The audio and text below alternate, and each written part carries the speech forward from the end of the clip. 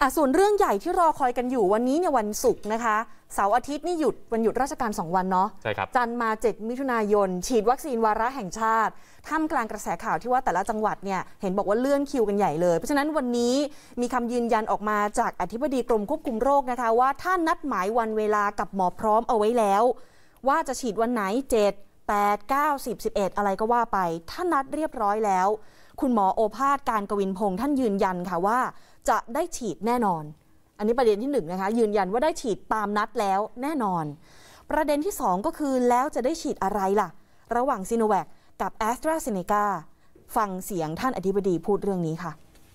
ขณะนี้ในเชิงวิชาการนะครับแล้วก็เชิงการจัดการคณะกรรมการผู้เชี่ยวชาญ ด้านวิชาการได้ได้ระบุแล้วนะครับว่าวัคซีน 2 ชนิดนี้สามารถฉีดใน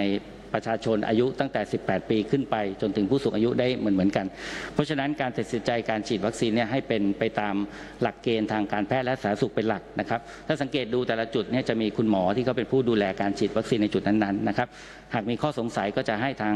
แพทย์ผู้ดูแลเป็นการฉีดเป็นผู้วินิจฉัยว่าจะฉีดวัคซีนตัวไหนนะครับ ทั้งนี้ขอให้เป็นไปตามหลักเกณฑ์ทางการแพทย์และสาธารณสุขเป็นหลักครับผมก็ขอยืนยันครับ วันที่ 7 มิถุนายน วัคซีนมีพร้อม จุดฉีดมีพร้อม ก็ขอเชิญชวนพี่น้องประชาชน ไปรับวัคซีนตามที่กำหนดครับ ขอบพระคุณครับคุณหมอโอภาส อธิบดีกรมควบคุมโรคยืนยันแบบนี้นะคะ นัดหมายวันเวลาเรียบร้อยแล้ว ได้ฉีดแน่นอนไปกันเลย แต่ล่าสุดนะคะ ผู้สื่อข่าวเราไปตรวจสอบดูแต่ละจังหวัด ก็เหมือนจะอาจจะยังมีปัญหาอยู่นะคะคุณไก่ ครับ อย่างไปดูที่นครราชสีมานะคะ ท่านผู้ช่วยผู้อำนวยการโรงพยาบาลมหาราชนครราชสีมา คุณหมอเจตบุญยวงศ์วิโรธท่านบอกว่าได้รับการจัดสรรมาในส่วนของจังหวัดนครราชสีมาเนี่ย3,600 โดส ก็คงจะฉีดให้กับกลุ่มผู้สูงอายุ กับกลุ่มผู้ป่วยโรคเรื้อรัง 7 กลุ่มโรคได้ ในวันที่ 7 มิถุนายน แต่ว่าคนทั่วไปที่อายุ 18 ปีขึ้นไปเนี่ยค่ะ ท่านบอกเลยว่าอาจจะต้องขยับวันเวลาออกไปก่อนนะอืมส่วนที่อุดรธานีค่ะ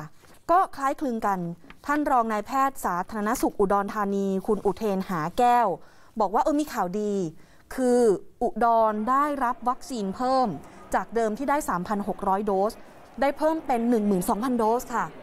พียงพอกับคนที่จองผ่านหมอพร้อมที่จะเริ่มฉีด 7 มิถุนายนนี้แน่นอน แต่พอวันเดียวค่ะอืมพอวันที่ 7 มิถุนายน เพราะว่าวันนั้นนะมีคนลงทะเบียนเอาไว้ 11,944 คน ได้วัคซีนมา 12,000 โดส ก็หมดวันนั้นน่ะ ท่านก็ยอมรับตรงๆเลยนะคะว่า หลังจากนั้นวันที่ 8 มิถุนา9มิถุนายังบอกไม่ได้เลย ว่าจะได้ฉีดหรือเปล่า คงต้องรอล็อตต่อไป ครับ นี่คือสถานการณ์ที่เกิดขึ้นจริงจากการตรวจสอบของผู้สื่อข่าวของเราไปยังจังหวัด